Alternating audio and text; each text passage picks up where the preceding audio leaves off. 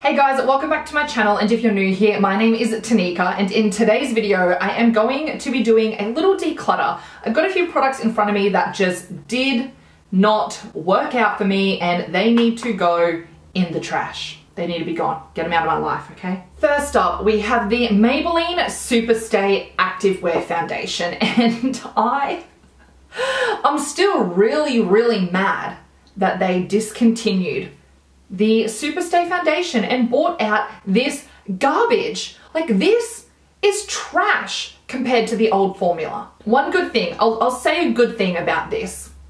They expanded the shade range. I'm not sure about the deeper end of the scale, but in the lighter end of the scale, they expanded the shade range. So that was nice. There's a nice fair shade that suits me better. But the formula is terrible. It just doesn't last anywhere near as well as the old one. The old one was a beautiful, full coverage, long lasting, sweat proof, heat proof formula. This does not have the same coverage. It says it's full coverage, but it absolutely is not. I'd get like a high, like a medium out of it. And this one, they've also extended the wear, saying it's up to 30 hours wear, but absolutely not. It looks like trash after the seven or eight hour mark. It is just not nice. And I know a lot of people feel the same way as me when it comes to this new formula. Another foundation that just needs to go and another one that really disappointed me was the Fenty Beauty Ease Drop Blurring Skin Tint.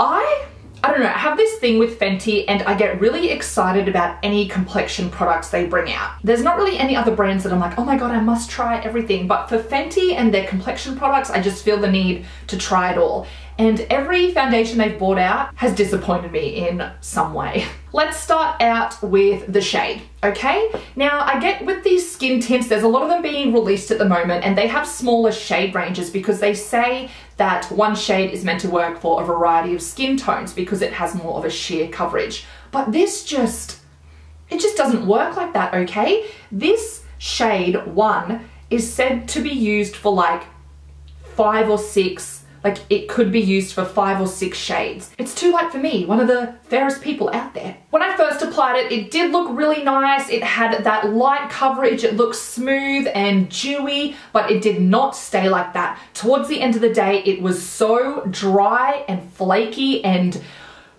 just oh my god, falling apart around my nose and my chin and my hairline. My cheeks looked okay, but the rest of my face, it just looked shocking. And that was after like seven hours. It claims to be heat proof, like humidity proof, sweat proof.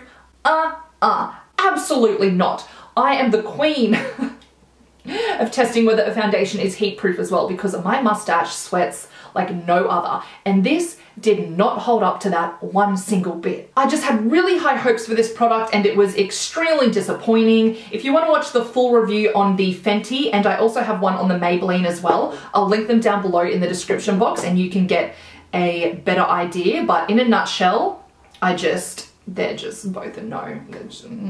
Another complexion product I have, which I was enjoying until recently I went to use it and it it's gone bad. So this is the MCO Beauty Instant Concealer, their Camouflage and Contour Concealer, and I have the shade Ivory. So when I first tested this out, I did enjoy the formula. The shade range is not very good and it was like a smidge dark for me. Once it blended out, it looked it okay. It looked it, that's not a word. It looked okay, but it was too dark for me. I did continue to use it though because I liked the formula and if I put it on first and then put my foundation over the top, it looked fine. But I pulled it out to use the other day and I was like, ew, it's separated. Get a load of this. What the F? It is like water in there. I was able to like blend it back together the first two times, but then it just got worse and worse and it is literally just water.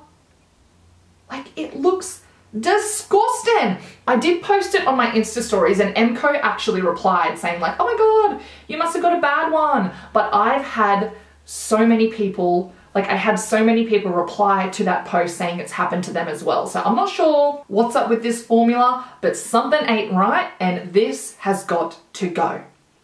MCO actually are sending me their other concealer that is in similar packaging to the Maybelline Age Rewind. They're gonna let me try that one because this one didn't work out for me. Next, I have a product by Morphe and this is in collaboration with Maddie Ziegler and this is the Face Gloss Stick. So essentially it's like a balm like a highlighting balm. And I got really excited when I saw this. I was like, oh my God, this is gonna give you that beautiful glass skin wet look.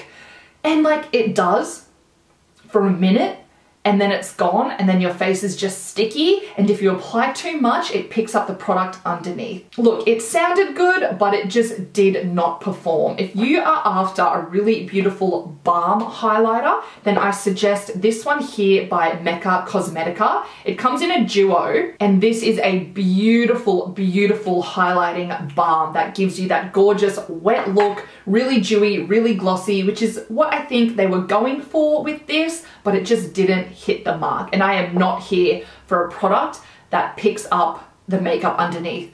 God, that shits me like no other. Like you've spent all this time and effort in your face and then you put something on and the product moves. Like, no, don't go there. And then lastly, I have two products by Revolution. And first up is the Soap Brow. Now I again had high hopes for this. Revolution makes some pretty good products and this is definitely a dupe for the Patrick Ta brow soap brow thing, which I have right here. Patrick Ta, Revolution. Like, come on, as if.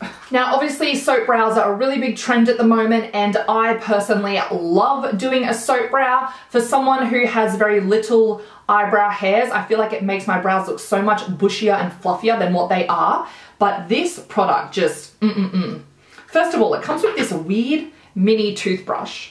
Like, okay, why not just put a spoolie in there? It is so stiff and it just doesn't like cling, it doesn't get the product around the hairs like a spoolie does. It's just weird.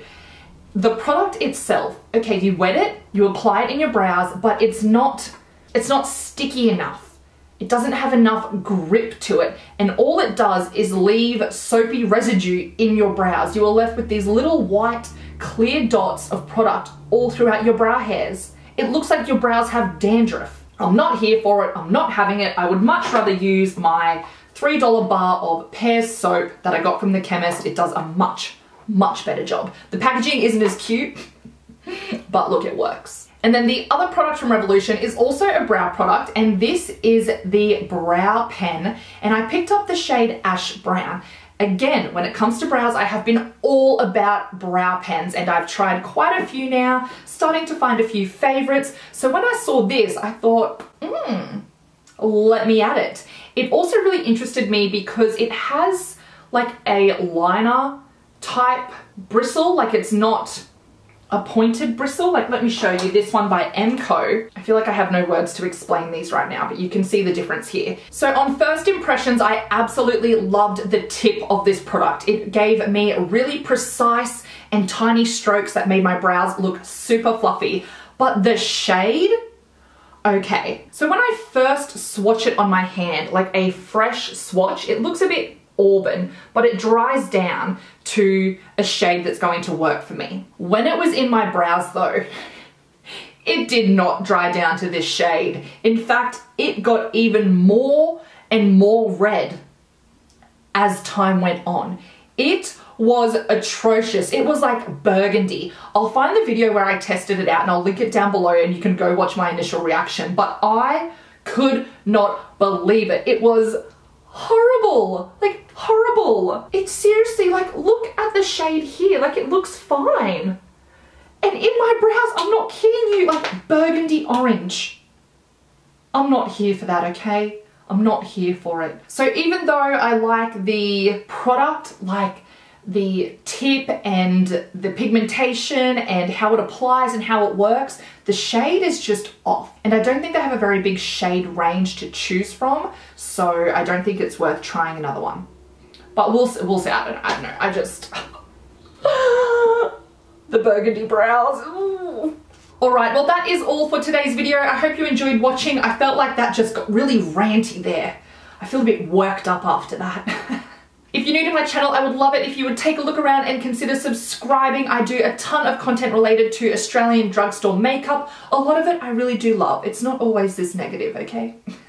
You can also come and follow me over on Instagram. If you want to know the makeup that I'm wearing, I will have a post on my Instagram with all the details, so you can go and check that out. You can also come and follow me on TikTok. I have been loving TikTok lately and have been posting so many videos, so come and follow me over there too. I hope you're all having a fabulous day wherever you are, and I'll see you in the next one.